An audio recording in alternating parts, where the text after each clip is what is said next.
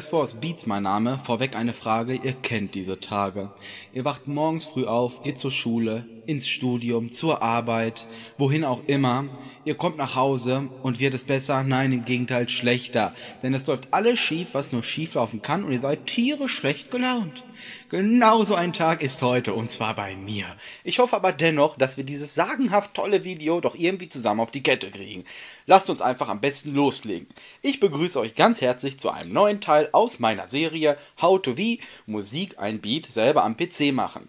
Nachdem wir Hip-Hop und Dubstep erfolgreich absolviert haben, machen wir heute weiter mit House. Wie kommt's? Konnte ich irgendwo abstimmen? Yo! Im letzten Video, also nicht beim fertigen Beat, sondern im letzten Tutorial, könnt ihr unter das Video schreiben, auch jetzt schon im ersten, was ihr euch als nächstes wünscht. Orchester und RB, was mich zum Beispiel auch sehr interessieren würde. Aber ich will euch gar nicht manipulieren, entscheidet weiterhin selbst, ich mache gerne alles, was ihr wollt, außer zu privaten Schweinekram.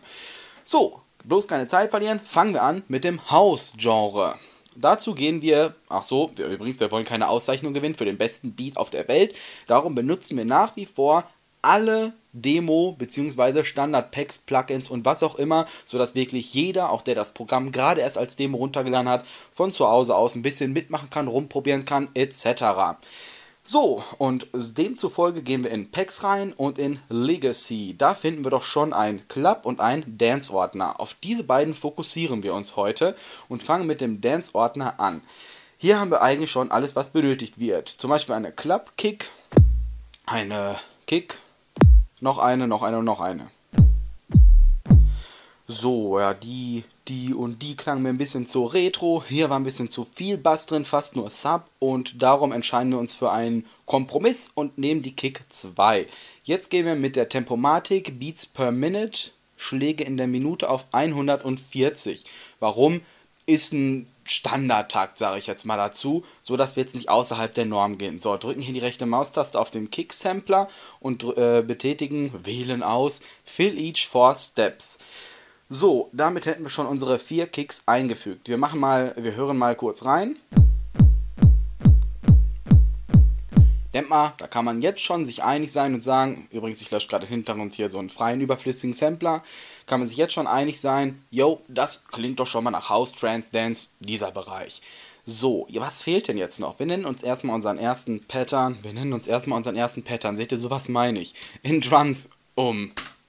So, geschafft, ich bin stolz auf mich. Wenn ihr das auch könnt, dann seid ihr schon richtig weit. Jetzt machen wir aber weiter. Also die Klick, Klick die Kick haben wir wählen jetzt einfach mal ein paar Standard-FX rein. Also wir mischen jetzt hier nicht richtig ab. Das seht ihr, bekommt ihr zu sehen oder seht. Ich muss mich schon entscheiden, was ich sagen will.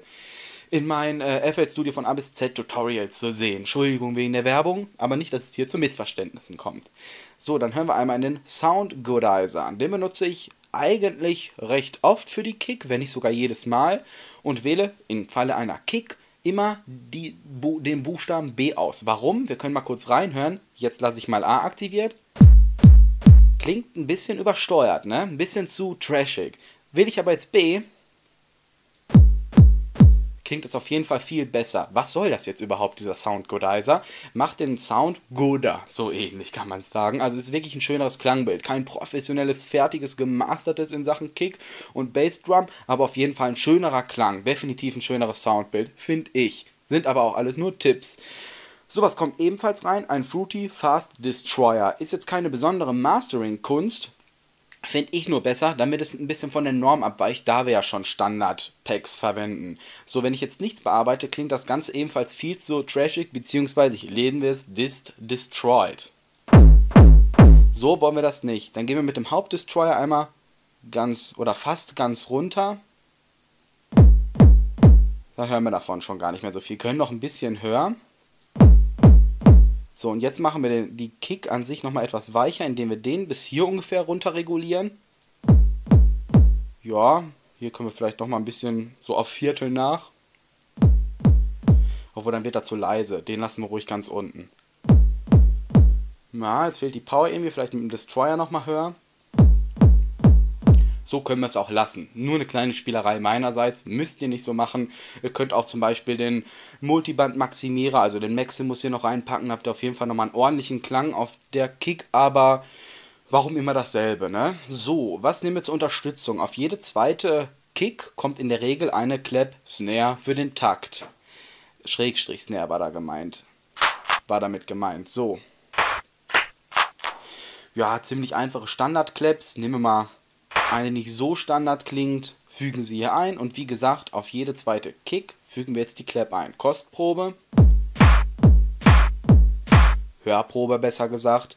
Und ja, die bearbeiten wir jetzt mal, wie gerade angesprochen, ganz simpel mit so einem Multiband-Maximierer, hier dem Maximus einfach. Müssen wir jetzt natürlich noch vom Volumen ein bisschen runtergehen, denn sonst ist die Clap so laut, dass sie so sehr übersteuert und die Tonsignale verschluckt, dass sie einfach nur noch schlecht klingt. Wir hören mal rein. Nee, da können wir ruhig, glaube ich, bis auf 50% runter. 50 Cents. Ah, war jetzt bei 55, guck mal in 50. So lassen wir es erstmal. Es kommt ja noch einiges dazu, nicht, dass sie am Ende so sehr untergeht, dass ich sage, ach, jetzt können wir schon wieder hochschrauben. Ne? Am Ende kann man immer noch genug bearbeiten. So. Hatte ich ja schon abgespielt, merkt man auf jeden Fall, alles klar, ist schon die Richtung. Mhm. Gut, wie geht's weiter? Und zwar können wir uns schon mal vormerken, so eine Crash werden wir auf jeden Fall verwenden. Mit der werden wir auch gleich noch was machen. Die open ich schon mal in einen New Channel. Dann brauchen wir noch ebenfalls hier nehmen wir so eine Snare, wofür die ist ebenfalls gleich. Die kommt jetzt nicht einfach wie in anderen Genres einfach auf die Clap zur Unterstützung, sondern hat einen ganz anderen Effekt. Aber dazu, wie gesagt, gleich. Ja, so eine Head können wir hier noch nehmen, Hi-Hat. Und dann gehen wir nochmal in den Club-Ordner. Ja, die brauchen wir auf jeden Fall, die Head. Das ist so eine Open Hi-Hat jetzt. Die ist auf jeden Fall ganz wichtig, auch unter Ride bekannt. R-I-D-E. Ja, nee, und sonst, ach, auch nicht schlecht. Aber sonst hätten wir hier eigentlich schon das Nötigste.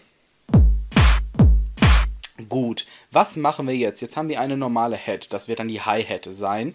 Die fügen wir in Two Steps ein. So, wir hören mal. Ist noch ein bisschen zu laut, aber auch noch ein bisschen zu trocken, oder? Also, die hätten wir jetzt einmal so. Ne, auf 40 wollte ich sie.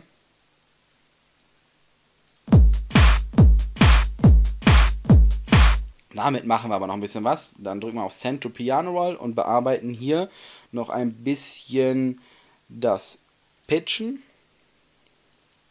Vergrößern wir das mal. Gehen wir einfach mal hier so lustig hin und her. Einfach mal ohne wirkliches Ziel, ohne Konzept. Ja, ist doch schon ganz nett. Dann können wir mit dem Panning noch ein bisschen links und rechts verteilen. Hm, ich würde jetzt nicht jede abwechselnd machen. Zum Beispiel so 2, 2, dann mal einen abwechselnd, einen abwechselnd. Den lassen wir mal wieder in der Mitte. Den letzten vielleicht mal hier hin. So, wir gucken mal oder hören mal.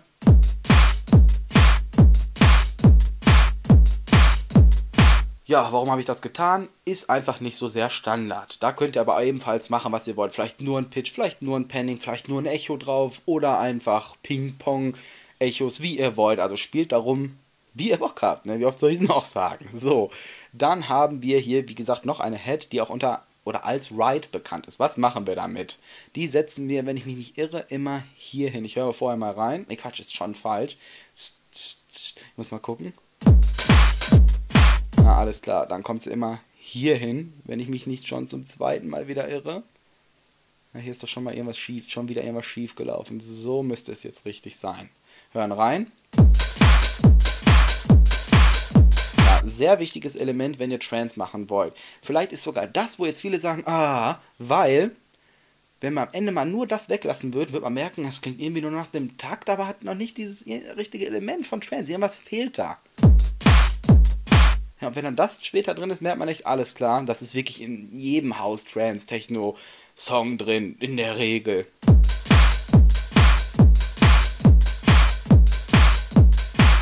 Ne? Also da haben wir auf jeden Fall den Ride noch dazu.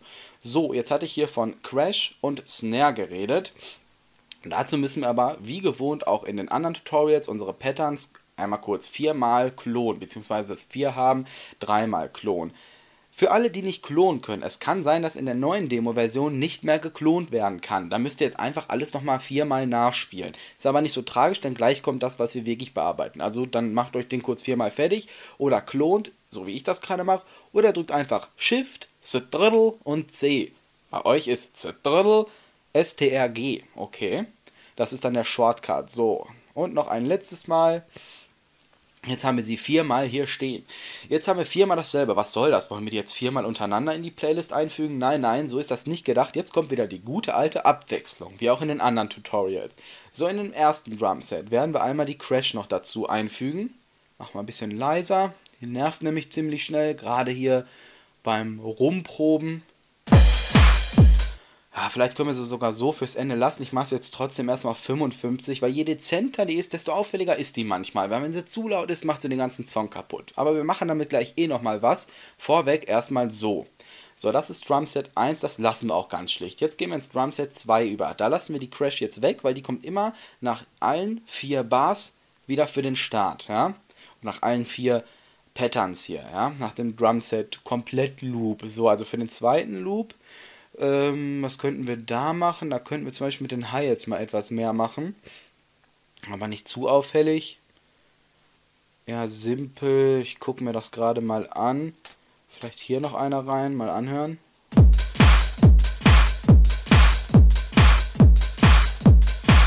Ja, klingt doch eigentlich ganz nett. Hm, ich denke mal, das können wir auch erstmal so lassen. In den dritten tun wir diesen Effekt ebenfalls dazu. Aber damit sollte es noch nicht genug sein, sondern da sollten schon ein paar mehr rein. Also ich hoffe, das ist jetzt rhythmisch gut angepasst. Wir testen das Ganze mal.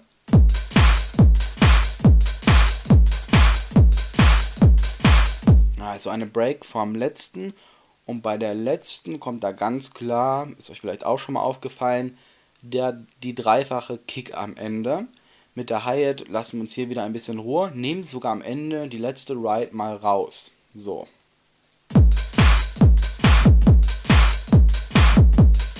Gut, dann hören wir uns jetzt mal alle vier an und gucken, was das denn so gebracht hat, was ich da gemacht habe.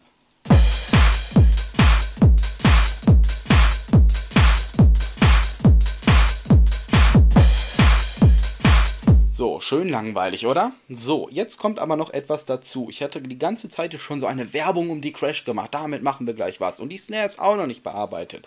Dazu kommen wir dann jetzt. Nichts Besonderes. Viele werden jetzt beleidigt aufstoßen und sagen, nee, ne, dafür hat er sich jetzt so Zeit gelassen. Aber andere wiederum werden sagen, ah, coole Idee. So, also die Crash haben wir ja, wie gesagt, hier immer am Anfang ganz normal drin und zwar so. Unspektakulär. Jetzt lassen wir sie aber rückwärts laufen, so dass sie dann genau, wenn sie sich rückwärts, wenn sie rückwärts durchgelaufen ist, mit der Crash wieder anfängt. Das machen wir dann natürlich im vierten Drum und müssen das hier vor auch einmal klonen, also kopieren. So, jetzt müssen wir nichts anderes tun, als hier auf Reverse zu drücken. Jetzt sehen wir schon, die Wave-Datei hat sich spiegelverkehrt hier hingelegt. Wenn wir mal draufklicken, aha, ist Reverb. Wenn man das jetzt hört, klingt auch schon so nach dem Beginn von so einem House-Song. Manchmal beginnen die einfach ganz schlicht mit einer Rückwärts-Crash und dann geht es auch schon direkt ins Geschehen oder in die erste Melodie. So, jetzt sind wir genau beim Reverb-Crash. Das war hier Crash 2. Müssen wir die natürlich nur rhythmisch richtig hinlegen, sodass sie genau hier bei 2 enden würde, dass am Anfang der 2 unsere Crash von dem ersten Pattern hier anfangen, anfangen würde. So. Also 8 Piano, da sind wir ja schon. So, dann gucken wir mal. Hm, ich glaube, hier wäre es noch nicht richtig. Gucken, wie naheliegend das schon ist. Na, ich glaube, das könnte schon passen. Jetzt hören wir uns mal nur die letzte an und gucken, ob dieser Reverb dann mit dieser Crash übereinstimmt. Also ihr macht es so weit nach links wie möglich. Ja? Wenn die erste Lücke drin ist, sofort wieder ein Stück nach rechts. Gut, das hätten wir. Jetzt bringen wir aber noch ein klein bisschen Abwechslung rein. Übrigens, so ein Reverb sollte nie so laut sein wie die Hauptcrash. Auf jeden Fall immer noch ein paar Cents, 10, 20 da drunter liegen. Wenn ihr jetzt sogar wie ich noch gleich Penning machen werdet, also zum Beispiel auf die linke oder rechte Box das Ganze legt, geht es ruhig noch weiter runter. Ich gehe jetzt mal auf 35 erstmal zum Test und lege die dann kurz vor 50 hier so mal auf die linke Box. Ne, zur kompletten Kanalverteilung geht wie gehabt in den Mixer und ne, variiert mit diesen beiden Reglern. Bitte eure Kanäle, wenn ihr das machen wollt. So, einen Moment. Entschuldigung. So, dann hören wir mal rein, wie denn jetzt klingt. Ja, gut, ein bisschen lauter geht noch. Machen wir auf leicht über 40, aber wirklich nur leicht. Kommen hier bei 42. Dann ist aber Schluss. So, und das hätten wir jetzt.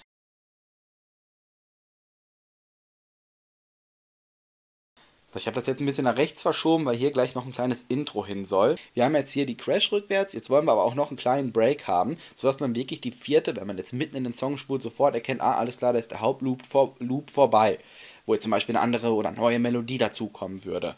So, da machen wir jetzt noch was mit den Snare Drums. Wir hören mal rein, wie die ganz gut passen würden. Mmh macht er das quasi, dass es erst dam, dam, dam, dam, dam, dam, dam, immer mehr kommt, dass es leicht ansteigt quasi. Vielleicht sollten wir sogar hier erst ansteigender werden. Ich höre mal rein, das ist jetzt nur ein Test, eine Vermutung. Ja, aber sowas in der Richtung meine ich schon. Ja? Die setzt ihr aber wie ihr wollt. Das ist jetzt noch weniger als Standard, was ich jetzt gemacht habe. So, machen wir auf 45, das sollte dann aber auch genug sein. Jo, das passt. Da wir die Crash, den Crash Reverb auf rechts hatten, oder auf links besser gesagt, können wir die Snare jetzt mal auf rechts tun, etwa im selben Verhältnis zur Crash, zur Reverb Crash. So, wenn das denn mal funktionieren würde. So, jetzt funktioniert's. Jo, passt. So, was hatte ich jetzt vor? Ich sagte im Intro noch. Bevor ich das aber erstelle, werde ich jetzt hier einfach nur nochmal clonen zur Vereinfachung. So, benenne das schnell um damit ich mit den Drumsets nicht durcheinander komme. Und jetzt kann ich quasi alles entfernen, was nicht ins Intro soll. Ins Intro soll nicht der Ride, soll nicht die Hi-Hats, sollen nicht, doch sollen die Snare, soll die Reverb Crash, sollen die Claps aber nicht, aber die letzten Kicks sollen da sehr gerne rein. Warum? Das werden wir jetzt hören, denn so wird dann wohl das Intro in etwa sein, ne? Also vorher, das machen wir im zweiten Teil, kommt vielleicht so eine schöne Atmosphäre, also die erste Melodie, lässt schön langsam einklingen, lässt noch gar nicht vermuten auf dem Haus Trance, der jetzt gleich wirklich bam, bam, bam zum Tanzen schnell abgehen wird, sondern wirklich schöne, ruhige Atmosphäre. Übrigens im zweiten Teil, wenn es dann zu den ganzen Melodien geht, werden wir etwas mehr Melodien machen als sonst. Und zwar einmal die Melodien und einmal die Atmosphäre. Eher so mit Pads und die Melodien dann mit irgendwelchen Synthesizern. Da werde ich mal differenzieren das Ganze voneinander distanzieren, damit er dann ein besseres Verständnis bekommt, wie so ein House-Song überhaupt aufgebaut ist, ja von den Melodien her und den ganzen Synthesizer. Nicht, dass ihr da irgendwelche Melodien reinhaut und denkt, hm, das klingt aber nicht nach Haus. Na gut, das aber nächste Mal. So, jetzt hören wir rein.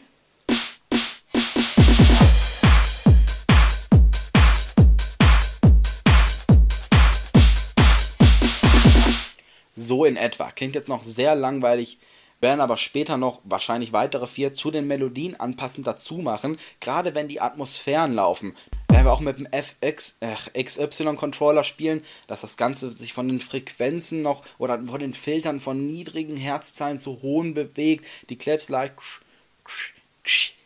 so einsteigen, also dass es nicht so langweilig ist, weil sonst haben wir einfach keinen House-Track, sonst haben wir einen House-ähnlichen Song mit einem Beat, einem Drumset, der House-ähnlich ist, weil er von der Rhythmik und BPM übereinstimmt. Also wir werden das schon noch professioneller machen. Jetzt haben wir hier erstmal das Drumset, was ihr wohin legen müsst, könnt, solltet und welche Elemente in Haus vorkommen im Drumset. Also nächste Mal das Ganze noch detaillierter mit den Melodien. Warum erst nächste Mal? Fürs bessere Verständnis haben wir direkt zwei Fliegen einer Klatsche, bevor ich jetzt die ganze Zeit nur drüber rede, aber nicht wirklich es mache. Wir hören nochmal rein, so klingt es bis jetzt. Eigentlich doch ganz schön, gerade das Intro lässt doch Spielraum für mehr offen.